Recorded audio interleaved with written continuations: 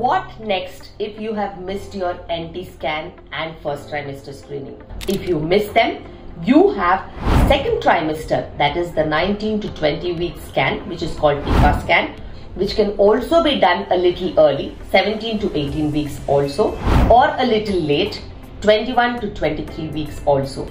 Now this scan is the second trimester abnormality scan which diagnoses all problems that are related to the structure of the baby from brain, eye, mouth, chest, lungs, liver, kidney, everything can be checked in the baby including the hands and feet.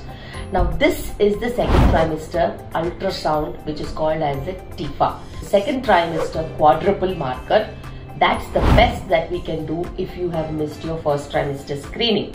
This quadruple marker analyzes any problems like neural tube defects and congenital abnormalities because it analyzes not only beta HCG, it analyzes alpha fetoprotein, inhibin and estradiol also.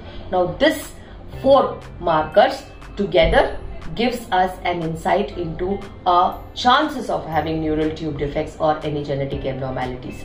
So just in case if you have missed your first trimester screening, make sure you don't miss these two at all.